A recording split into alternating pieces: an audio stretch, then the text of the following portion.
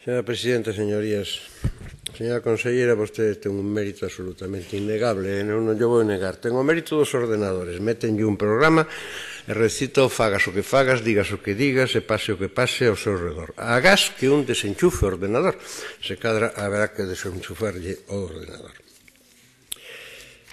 Isto vostede aquí falouse de que si o goberno de Extremadura estaba apoiado por Izquierda Unida. Ah, se cadra por eso polo que o goberno do PP de Extremadura se lle repón o goberno de Rajoy. Porque o mellor resulta que Izquierda Unida en Extremadura dice ou, ou vos repoñedes ou non hai tela. Queren que bromemos con esas cousas? Pois eu non, non me gusta. Rescate, de que rescate fala? Nós nunca falamos do rescate, o único rescate que propoñemos nos na campaña electoral era rescatar a un pobo secuestrado por vostedes, por se decía que era de que hai que votarlos, o que pasa que non fomos capaces, hai que recoñecer as cousas como son. Claro, pero hoxe perderían ustedes as eleccións, tamén o saben, verdad? No, ja, ríanse. Eu, eu convido a que uh, se poña un, unha dirección como nos programas de televisión, que toca rir agora, toca aplaudir. Ríanse. Ríanse. Está aí nas enquisas, baixaron, están en caída libre 16 puntos, por eso se cadra, pois queren sacar do medio a historia mediante a reducción a 61 diputados.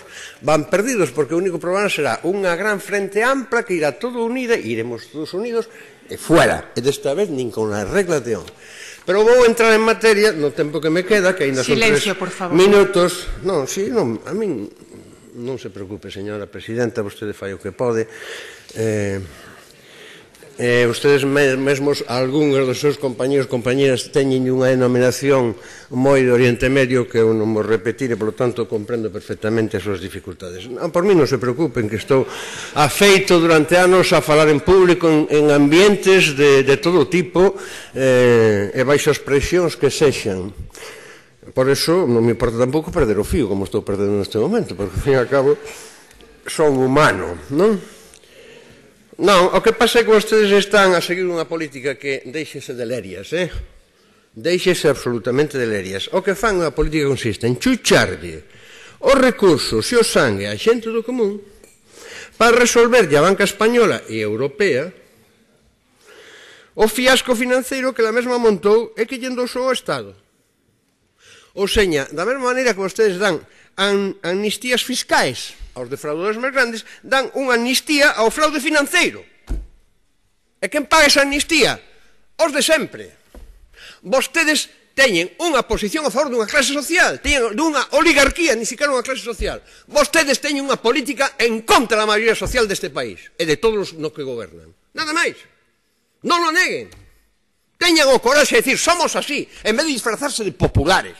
Digan, non somos a dereita, E a dereita sempre funcionou en defensa uns intereses determinados que non é nin dos traballadores, nin dos asalariados, nin dos probes de pedir, nin de nada polo estilo. Dos necesitados. Nunca. Deixense de xogar unha farsa tráxica.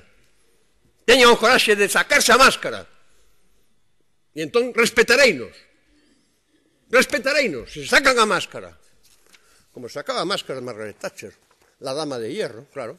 Oxe, os supervivientes da minería do, de Gales brindaron unha vez que desapareceu do mapa dos vivos, claro. Pero gañoulle esa guerra, claro que sí. Pero o estou descoberto, non pretendían gañar a ninguén. Vostedes están cometendo un fraude sistemáticamente, e iso é inmoral. É unha forma de corrupción da política. Vostedes están utilizando os seus votantes para facer o contrario do que esperaban de ustedes. Vaya rematando. É absolutamente inmoral. E o que está no fondo de todas estas historias. E só remato cunha cousa. Vostede dixo moi claro que cando nos propoñíamos o que propoñíamos, que non entendeu nada, porque nos propoñíamos aumento dos ingresos tributarios precisamente para elevar o teito e reducir a necesidade de ingresos financeiros estritos de débeda. Ademais de que, decíamos, e se non chega, sí que hai que endebedarse hasta un 1,5. Íbamos por diante íbamos por diante do que logo acabou recoñecendo o goberno do Estado español e non quero repetir o que xa dixo o señor Jorquera que o dixo con toda claridade. E ustedes o que pasa que din, nós actuamos cando, cando sexan realidades. É dicir, vostedes son como os soldaditos aquí, desplazados en esta colonia periférica del protectorado español de la, del Cuarto Reich, que únicamente cumplen órdenes.